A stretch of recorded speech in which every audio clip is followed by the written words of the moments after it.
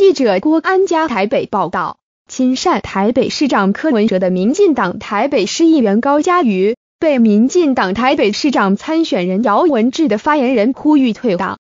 高嘉瑜于脸书表示，没想到姚早上证实这是竞选总部的想法，但对于姚选情低迷，高建议姚在八月底登记参选时，可考虑宣布辞去立委职务，彻底展现参选决心。对选情一定有明显的帮助。高佳瑜说：“科员做得好，就该升科长；优秀的科长也应该升处长，让有能力的人往上爬，扩大服务范围，造福更多人。这本来就是对的。所以，因为中央、地方民代或首长任期不一致所造成的代职参选，其实是一件很正常的事。这是任期衔接设计的问题。”不是参选人的问题，他表示。但从往例看，如果代职参选却遭遇选情不顺，参选人为让支持者感受破釜沉舟决心时，辞去现职，往往可以成为选举强心针，